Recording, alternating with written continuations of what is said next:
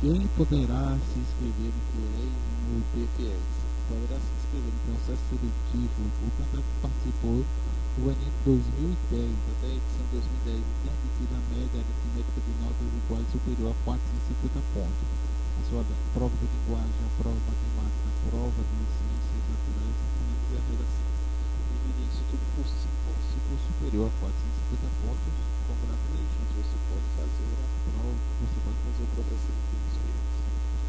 para se inscrever na qualidade de FIES e PFIES é necessário que o candidato possua renda familiar bruta mensal de três salários mínimos. Para concorrer exclusivamente para a modalidade PFIES, o candidato deve comprovar a renda familiar mensal bruta por pessoa de três salários mínimos e até cinco salários mínimos.